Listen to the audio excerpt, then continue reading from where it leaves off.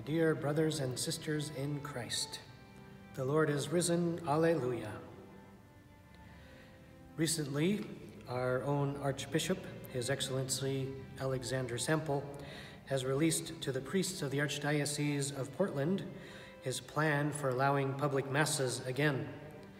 The plan is for limited reopening of masses in accord with the current restrictions put forth by Governor Brown. He emphasized some points, and I want to emphasize them as well. The obligation to attend Mass on Sundays and holy days of obligation will continue to be dispensed. So if you don't feel comfortable returning to Mass yet, that is okay. Masses will continue to be live streamed from St. Mary Catholic Church. In accordance with Governor Brown's executive orders, the number of people at Mass cannot exceed 25 people. This includes the celebrant, essential ministers, cantors, musicians, and anyone present. Appropriate social or physical distancing, a minimum of six feet, and adequate cleaning of the church after each use will be maintained. We will do what we can to ensure a clean environment, but please know that you are coming at your own risk. I cannot guarantee the health of anyone. I can only guarantee that we will be vigilant about cleaning and maintaining the proper directives and about social distancing, etc. Those who are sick at all must not come to Mass, and those in vulnerable, at risk populations are urged not to come to Mass. Very soon, this coming week, we will provide a way for you to sign up for Mass on our website for attendance at public Mass. And also, you would be able to call the office. Please note that this list of people will be on a rotating schedule, so you may get a daily Mass or a weekend Mass. Our goal is to give people the opportunity to receive our Lord, to attend Mass at some point during the week or month, depending on the length of the list. Unfortunately, it is too challenging to get the needed infrastructure in place sign up systems, volunteers, cleaners, etc., in place to begin this weekend of May 10th. So, Sunday, May 17th, will be the first day that all Masses will be open for regular parishioners to attend. Three English Masses being offered, and one Spanish Mass on that Sunday. For the first two weeks, all weekday Masses will be dedicated to providing the sacraments to those who have been preparing for their first Holy Communion and those in RCIA.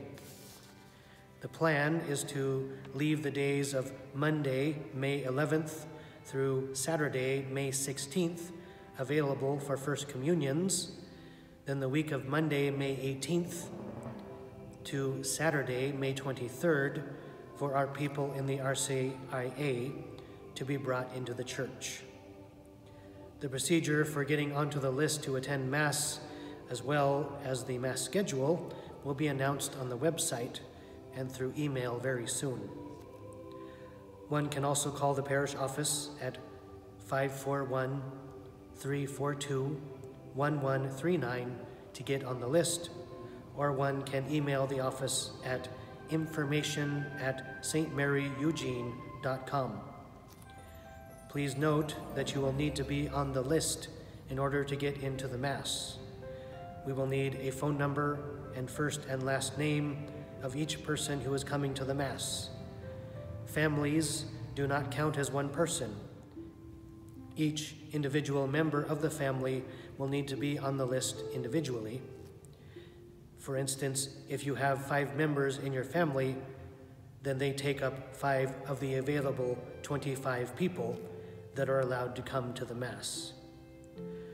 I will try to maintain the Mass time of 1215 for funeral Masses on Thursdays in an attempt to refrain from scheduling parishioners during that Mass time in case there is a funeral. Otherwise, those who are scheduled would need to be bumped in favor of the family members attending the funeral. Please only sign up for the Mass at one parish.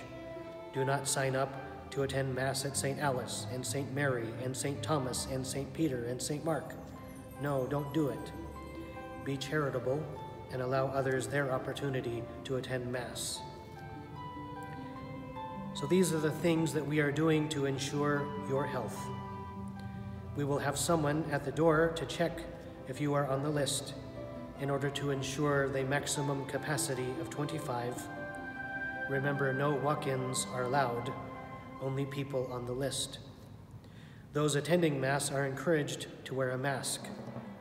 Pews will be assigned to maintain physical distancing. As you can see, we have taped off some of the pews in order to maintain the physical distancing. Masses will probably be shorter in order to minimize the length of possible exposure. Once again, I urge you if you have any symptoms of sickness, stay home. All books or cards or bulletins in the church have been removed. The pew cushions have been removed. Holy water fonts have been removed. Anything that could be a vector for transmission of contagion has been removed from the church. For your protection, our priests will wear a mask during the distribution of Holy Communion. He will purify his hands before the distribution of Holy Communion.